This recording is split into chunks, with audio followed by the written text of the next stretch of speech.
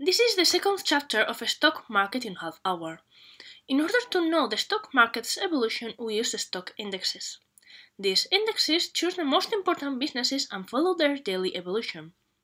The most important values in these indexes are called blue chips. Their name comes from the most valuable chips in casinos.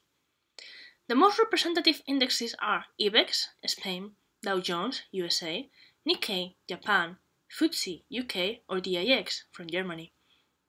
Market capitalization is the value of the number of a business's stocks multiplied by its price value.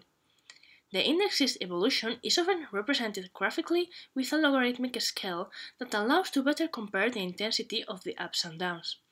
This way, a 50% decrease from 10,000 to 5,000 points is represented with the same vertical distance than a 50% ascent from 2,000 to 3,000 points.